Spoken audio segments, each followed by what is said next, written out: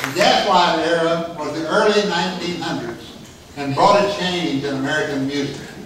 This music was a bit more lighthearted. Some folks even referred to it as small The lyrics often referred to outings in the park to enjoy the band's playing. Places like Tin Pan Alley became very popular. People would go there to hear music played on piano before they decided to buy the published sheet music.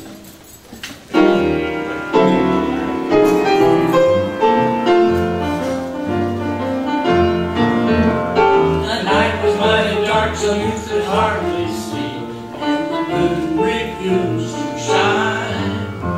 A couple said